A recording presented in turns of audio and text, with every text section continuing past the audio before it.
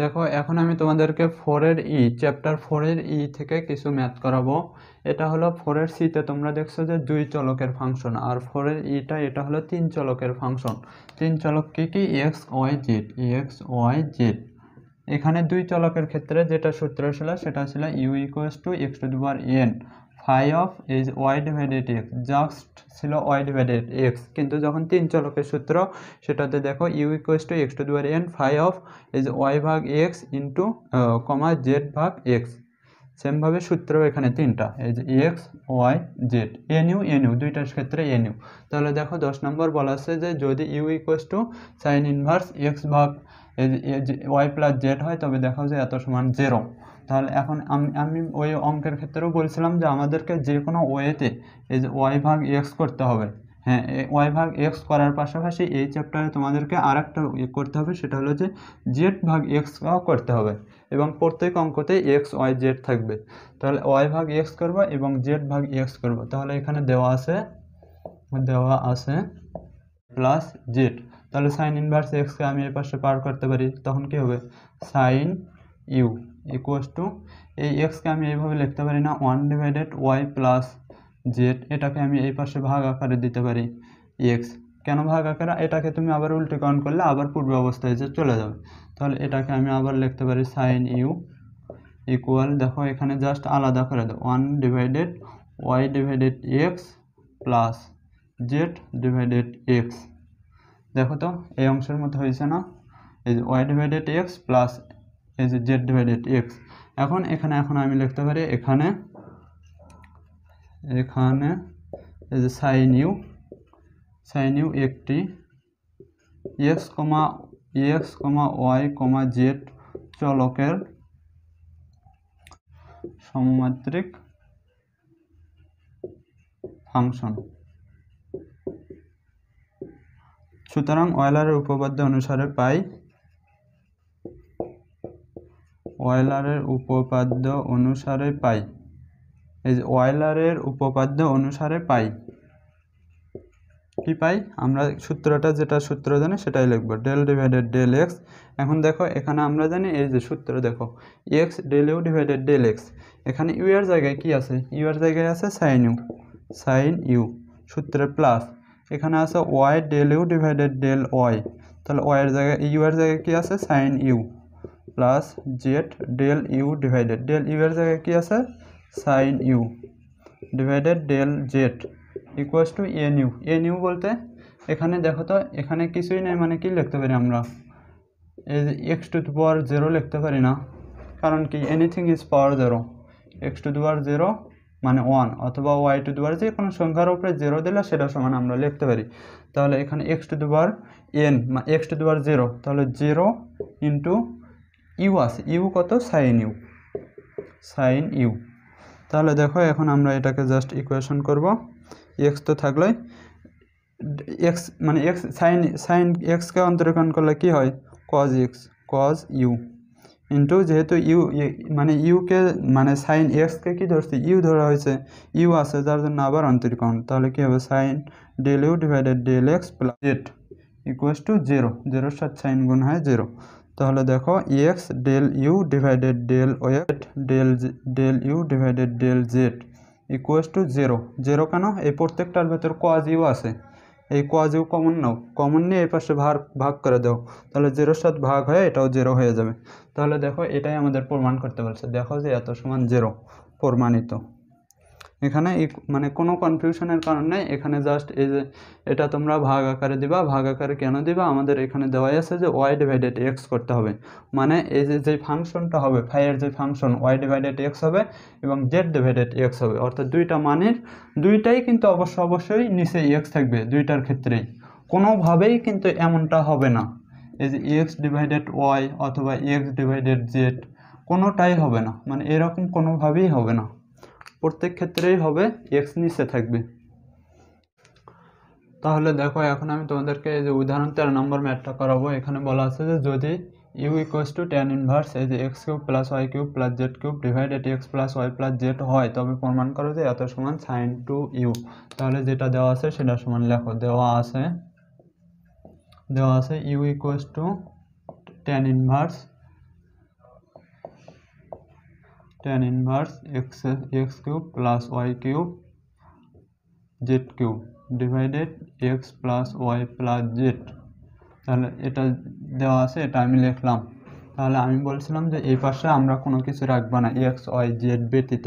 তাহলে এখানে হবে ten u ten u equals two এখান থেকে আমি একবারই দেখো এক্সটা কমন নেব।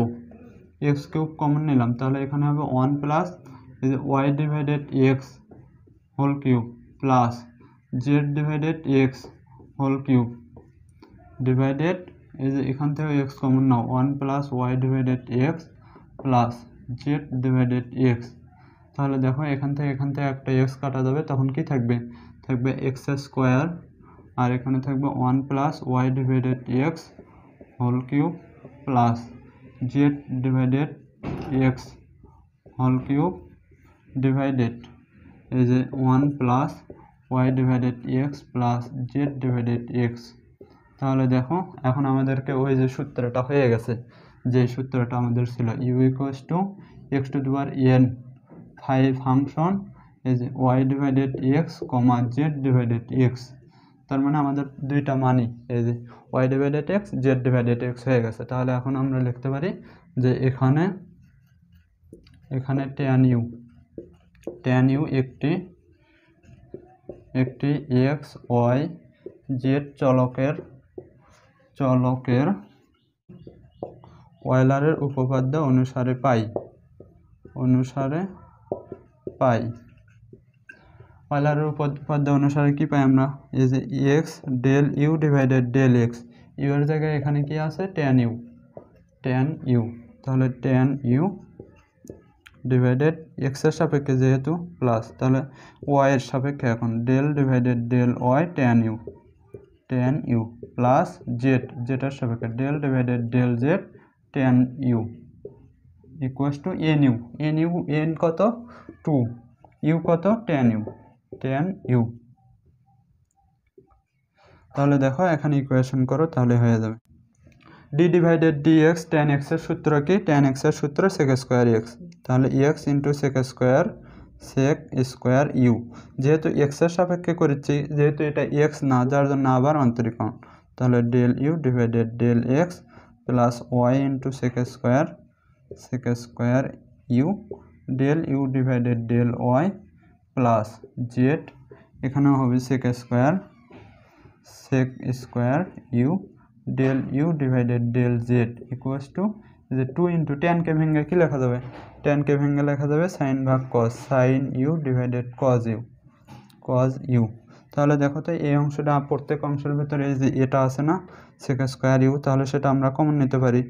Del U del Z equals to দেখো এটা কমন আছে এবং এটা ভাগ আকার, গুণ আকারে আছে। তাহলে পাশে এসে ভাগ হবে না। তাহলে টু ইন্টু এই যে sine sine U divided cos U cos U into এটা কি হবে? ভাগ আকারে হবে কত? ভাগ আকারে হবে one divided cos sec square sec square U তাহলে আমরা কি জানি? এখানে two sine U sine U divided cos U cos U এই যে এটাকে কি লেখা যাবে? এটাকে লেখা যাবে তোমার হলো কজ স্কোয়ার তাহলে কজ স্কোয়ার লেখো কজ স্কোয়ার ইউ তাহলে এখান থেকে একটা একটা কজ কেটে যাবে না।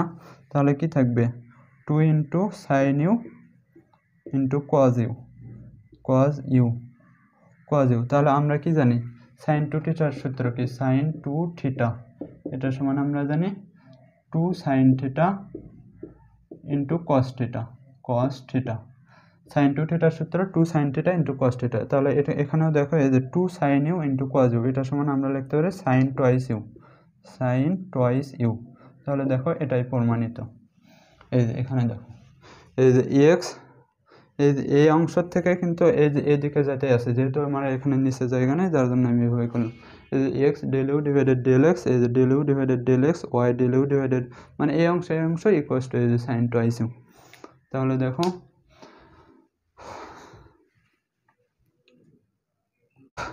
দেখো, উদাহরণ এই যে চোদ্দ, পনেরো একই রকম। এখানে চোদ্দ নম্বরে দেখো বলা আছে যে ইউ ইকুয়াস টু এই যে সাইন ইনভার্স সাইন ইনভার্স এই যে x plus y plus z divided এই যে root over x plus root over y plus root over z এটা দেওয়া আছে। ওই আগের ম্যাথগুলোর মতোই। মানে এই আগের যে দুইটা ম্যাথ করাইছি, এই ম্যাথ দুইটা তোমরা যদি ভালোভাবে বুঝতে পারো, তাহলে অবশ্যই অবশ্যই করতে পারবে। তাহলে এই সাইনটা যেহেতু এই পাশে রাখা যাবে না, এই পাশে আসলে কি হবে?